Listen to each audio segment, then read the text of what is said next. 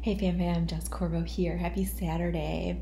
I am so excited to announce so many amazing things that are going to happen. So, I leverage my platform to talk about personal mental health, personal wellness, easy ways to have a healthy lifestyle, how to promote, you know, self-mastery, everything is reflecting in.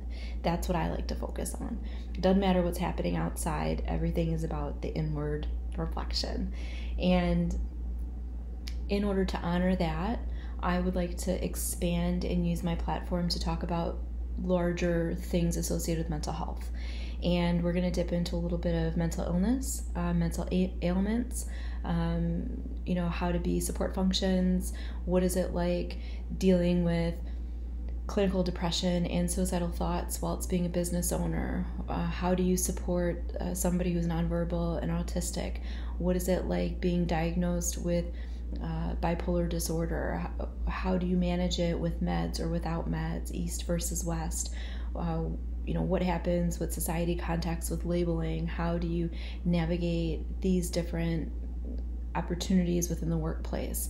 How do you build supportive communities? Where do you find supportive communities?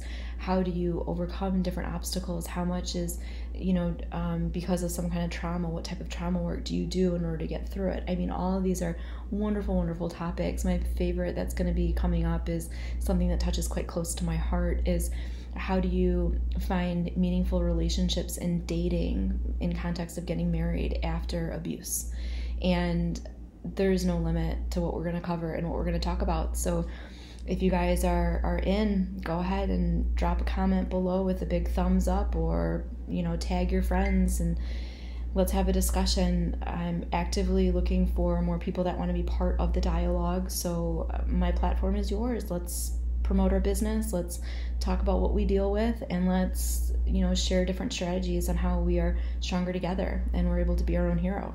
So, thanks guys.